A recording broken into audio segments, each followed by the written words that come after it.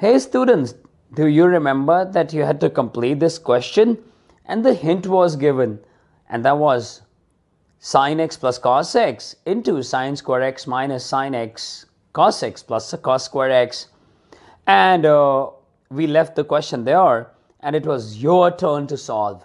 Never mind, here is the complete solution. After, when you have written this,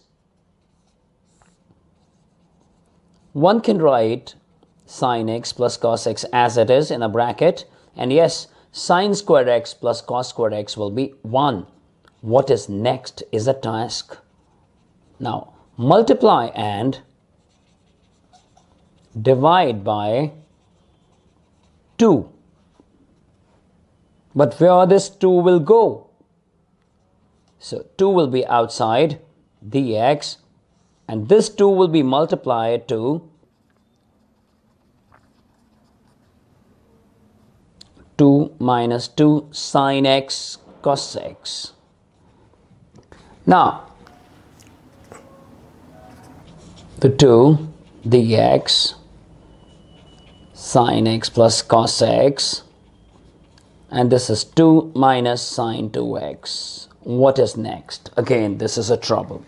So, what you can think, you can think of multiplying and dividing by. Now, this is a catch multiply and divide by sine x plus cos x. Why? Because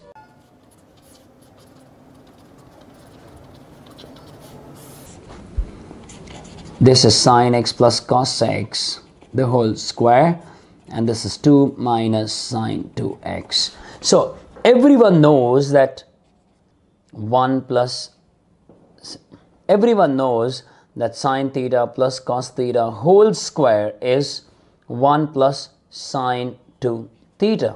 So using that we can write 2 outside sine x plus cos x dx over 1 plus sine 2x.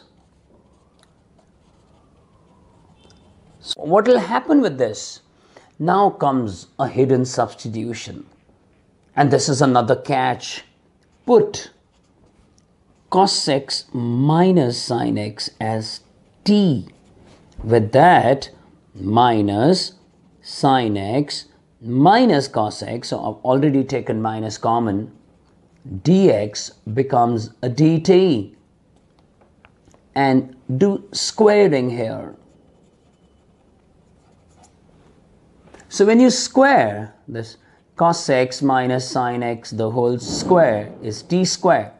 So this is 1 minus sine 2x and this is equal to t square.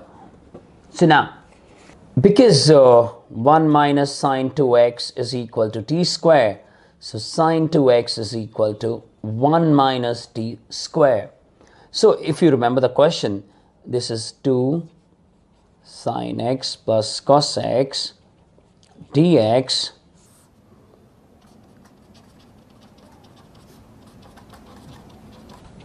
Now, this entire numerator will turn to minus dt.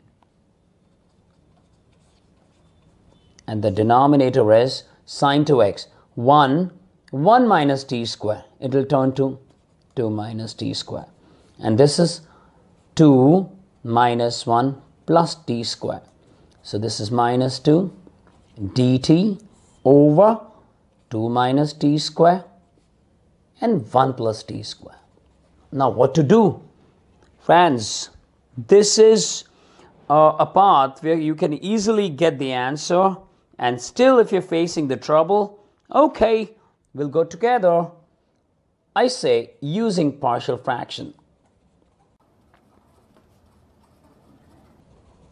and use temporary substitution, put t squared is equal to y. So the question turns to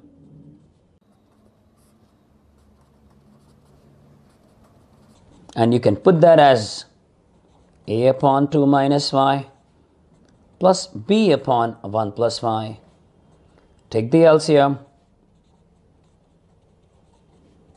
There are many methods with which you can find A and B.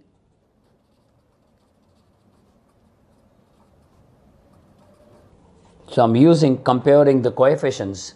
So when we compare the coefficients, we get one equation as and other as 0 with that a equals to b. Now a equals to b. So this implies b plus 2b is equal to minus 2 3b is equal to minus 2 so b equals a equals minus 2 by 3 so the question turns to i equals we put the value of a which is minus 2 by 3 integration and it will come back to t because the respect is t not y.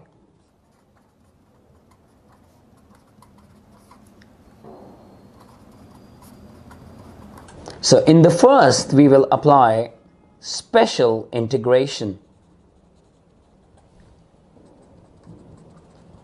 1 by 2a log mod root 2 plus t upon root 2 minus t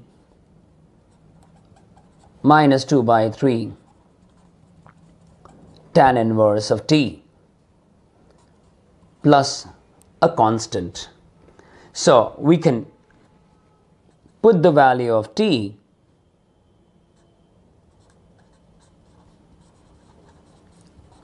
which is simply if you remember t is uh, cos x minus sine x.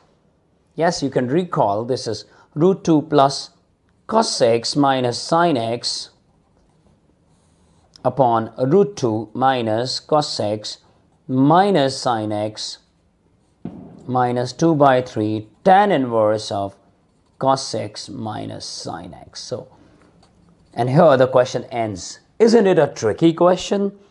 And it I mean, it's a beautiful question because it takes everything from you. Yay, but it's solved. So enjoy and celebrate.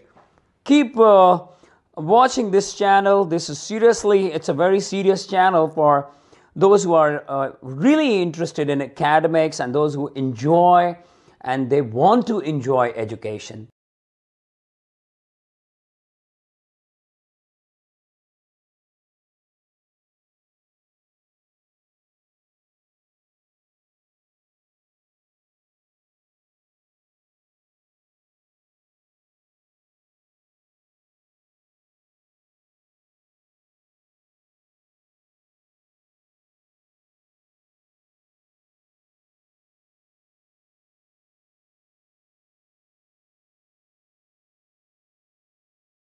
Bye. Take care.